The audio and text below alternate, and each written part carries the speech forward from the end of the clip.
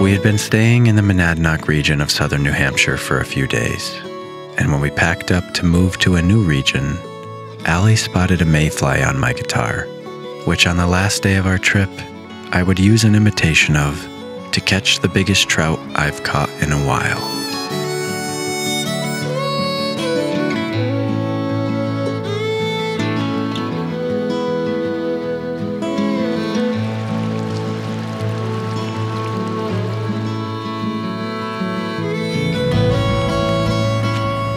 Our way to the Sunapee region, we came across a bank of flowers that we had discovered this time last year on a different trip, but we had no idea we'd be driving past it this day.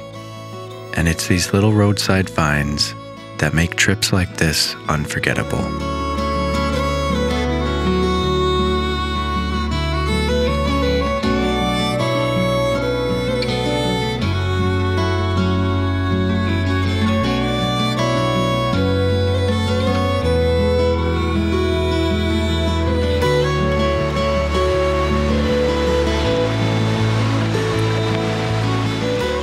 While we were stopped, I figured I'd throw a line, and I ended up with a little native brook trout.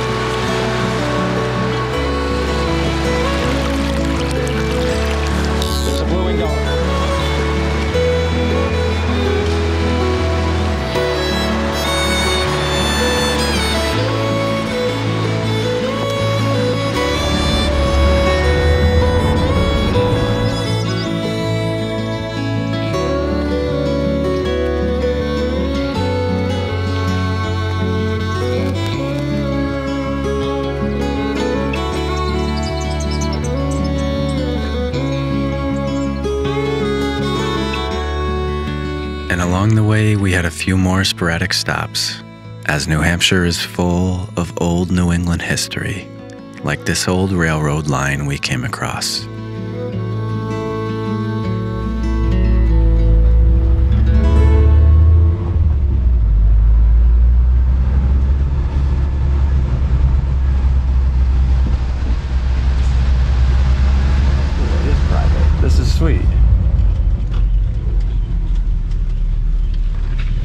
This light is really pretty cool.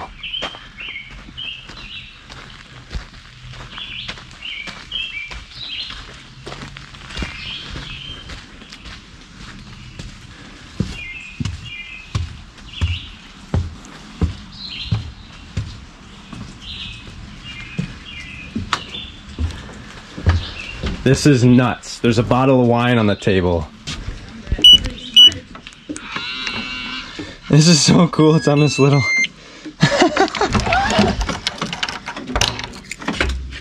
wow. this is nuts. What? Look at This this. is actually really cool. I didn't get the gist of it all off the online. Wow. The whole ceiling is the same coffee bag things that I had. Wait, this is the bedroom? It's one of them, the big one. Up here. Can you turn Wait, any? do you see what this is right here? What? There's a tree.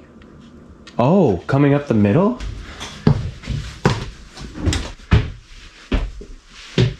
Wow. With the sink.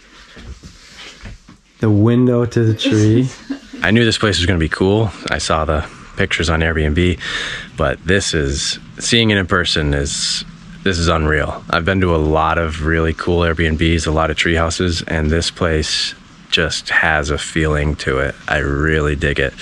It's really well done. I think we're pretty close to the lake right here in the state park, Sunapee State Park. If you're interested in renting this place, I'll put the link below in the video description. It's been really rainy and cold this whole trip, and right now we're gifted with some sunshine. Definitely want to take some time to enjoy this while it's here because just having the sun on your face after a long stretch of cold days is feels so good.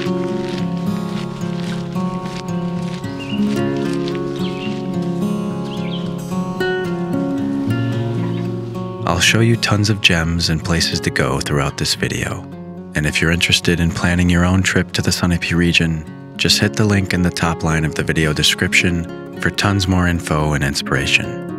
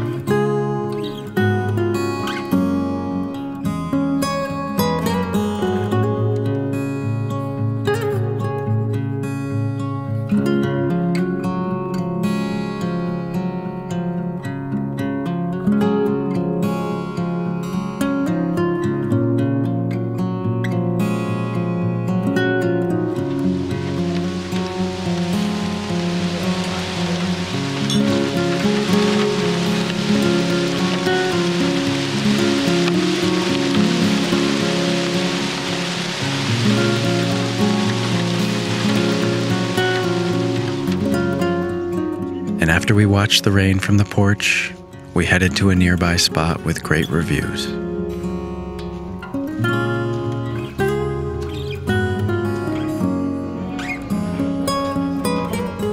And while we were eating, the sun broke out again.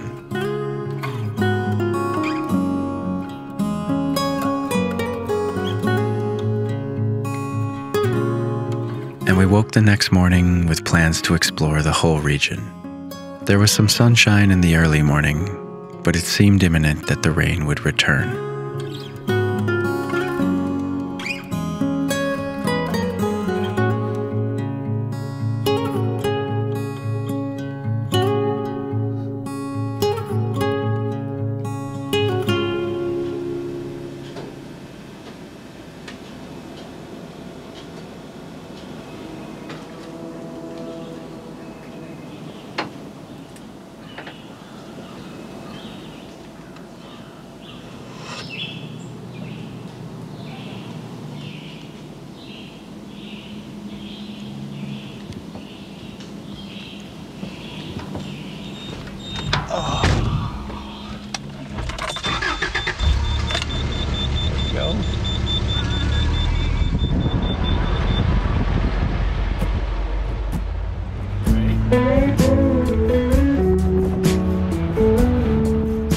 We drove past endless wildflowers and got breakfast in the town of New London.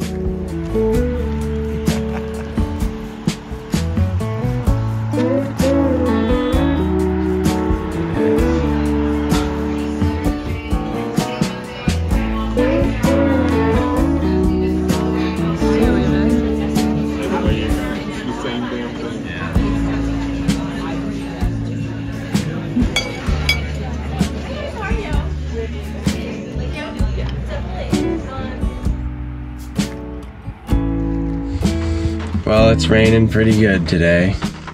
Haven't had great luck with the weather on this trip. We're driving the Sunapee Loop. I don't know if it's the scenic byway or the loop. I don't know if they're different or what, but there's a lot of great roads all around the Sunapee region that lead through really cool little towns. Apparently, one of the most picturesque town greens is in a town called Washington, so we're on our way there. The important thing to remember is that you can't control the weather, and these type of things can happen when you take trips. And you got to make the most of it. Going on a scenic drive on a rainy day is actually really cozy. We've got an old Bee Gees tape playing, and I also think that there's hope that the sun might come back out. I can see blue right there, just barely. Yeah.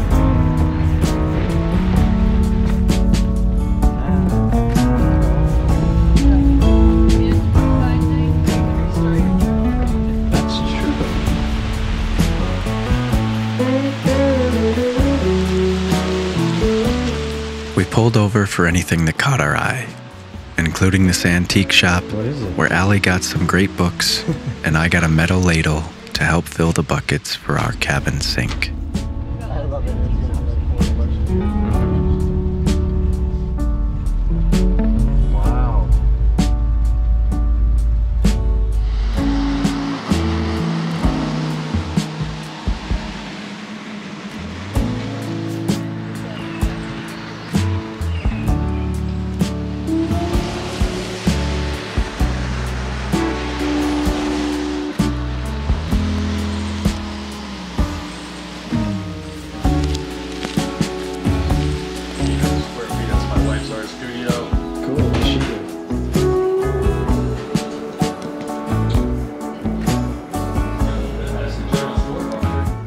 A lifelong family heirloom from the local pewter worker. And we continued along the byway as the sun poked in and out between the clouds.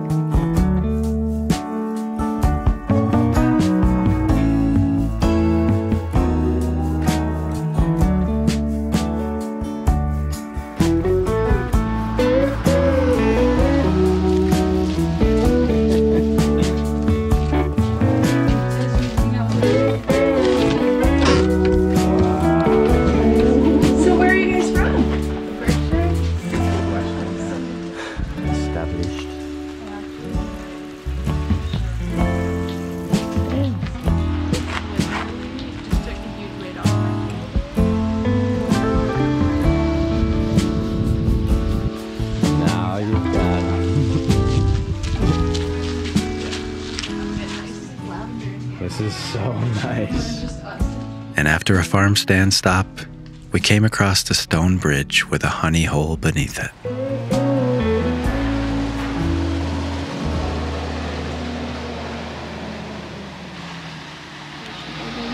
I'm gonna.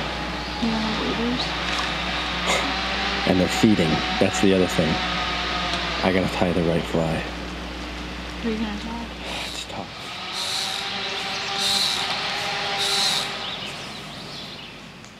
And though my first cast didn't land quite right, you have to be careful in slow moving water like this, as the fish have a lot of time to study the surface. And if you start making a lot of commotion and doing recasts, you'll spook them fast. You need a good natural looking drift to fool a big fish in water like this.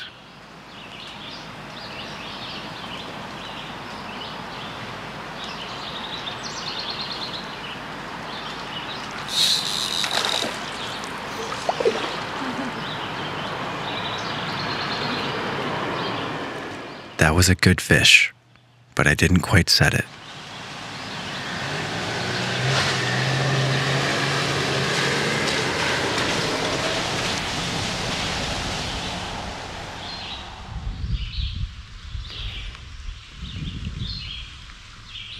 And so I kept casting as the rain began to fall, and big dark mayflies flew all around me, while the fish rose to eat them on both sides of the bridge.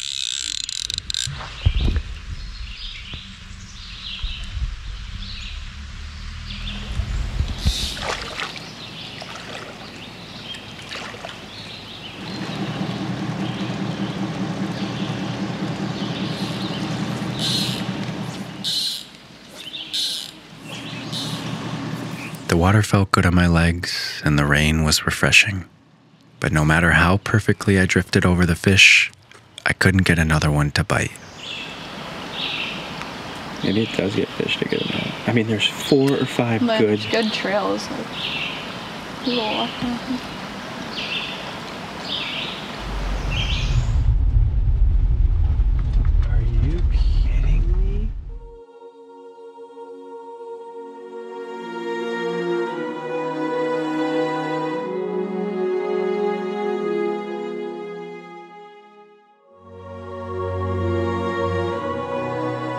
as we continued on, we came across a surprise lupine patch that glowed gold in the afternoon light, while raindrops still fell.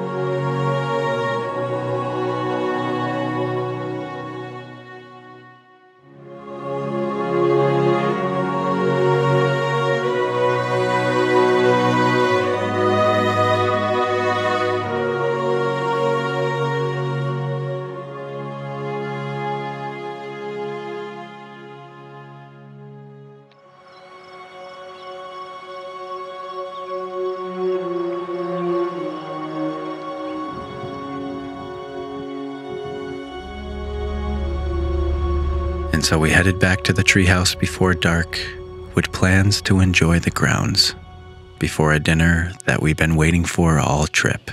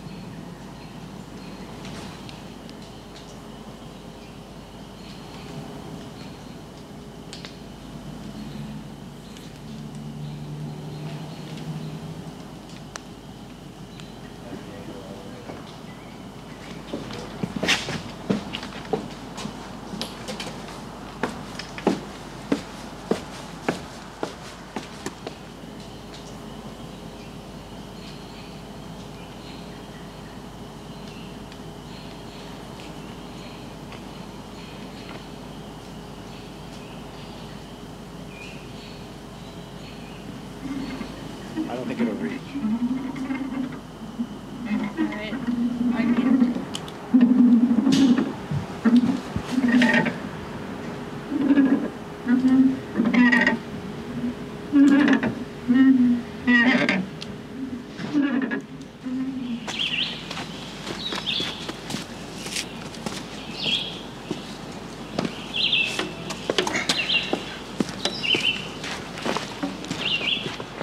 And on our final day, we planned to do a little more adventuring around the area. But I was dead set on making my way back to that bridge for one more try at the big trout.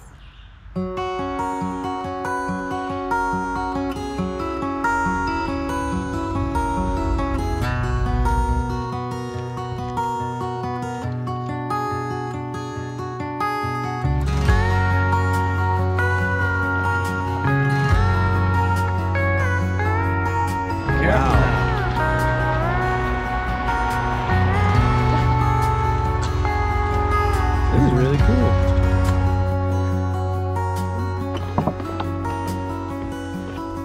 Hey, hey, hey.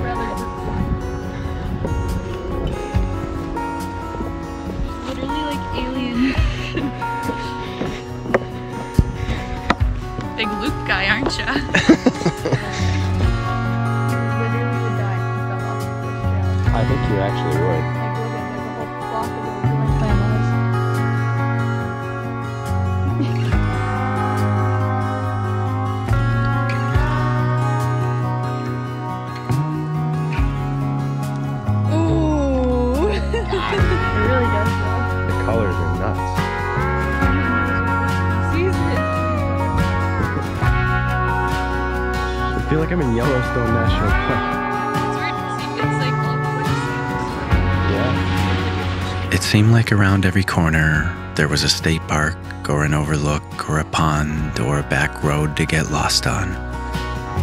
Wow.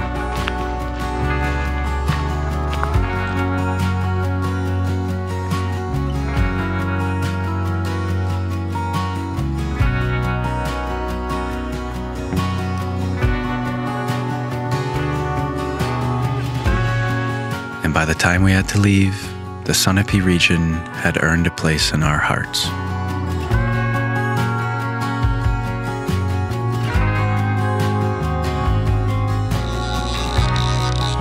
And on my first cast upon returning to the bridge, I hooked one of the trout. Oh,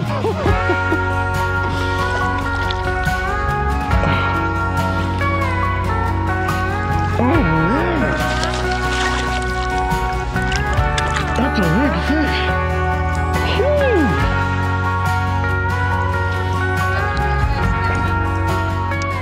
Was over the moon and would never forget the treehouse on Tiffany Hill and the big trout under the stone bridge.